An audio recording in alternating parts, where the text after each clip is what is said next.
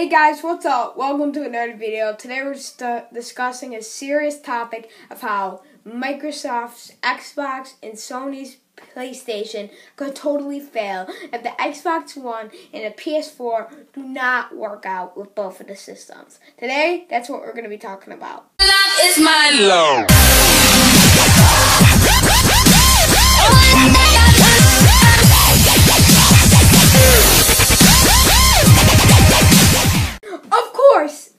These companies always over exaggerate about how good their systems are. But if these things totally fail, the whole industry of gaming business could go under and the PC could rule the whole gaming business. Hopefully, we'll find out that this is not to happen. But the freaking PS4 controller is turning into a freaking touchpad iPad type thing. Xbox is trying to keep it slim. And we all know one of the industries is going to fall before the other. So I think Sony's going to fall. They're turning their controllers to something very unoriginal and they're just changing everything until the PS4 isn't really going to be a controller anymore. It's going to be something totally touchpad iPhone type thing like this.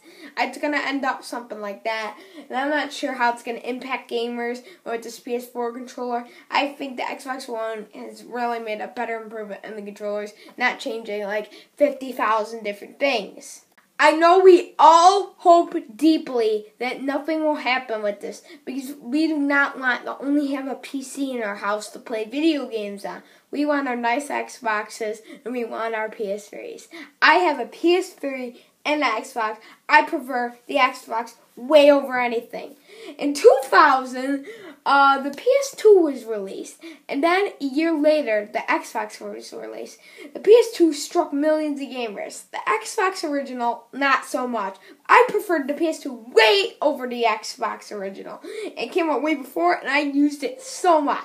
It was the best system I've ever had. I was there on release date. I remember. Uh, it was just a really fun time. And then, um, they decided uh, three years before the PS3 to create the Xbox 360.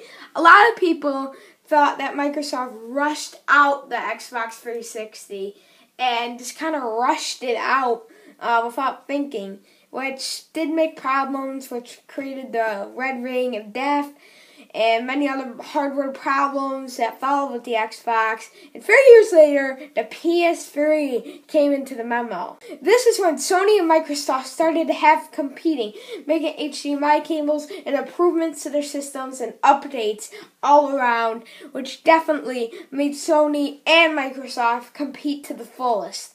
This was really a big, giant, enormous battle between the two that uh, that is still going on to this day. And Xbox is winning the battle at this moment. But I think that they're going to be able to do this forever because it's just it's Xbox. It's a freaking it's original, man. The PS3 is just changing crap. Like I hate the HUD for PS3. I do not like PS3. Xbox's graphics is better. They got freaking Minecraft. Think about that. PS3 denied freaking Minecraft. And they were offering all this money, Mojang, to get on freaking to get on freaking PS3, but they denied it. Same with State of Decay and much other things I won't even get into contact to. Alright guys, I'll see you next week. What do you think? Please leave a comment below. I'll see you guys outro. Now you're going to die.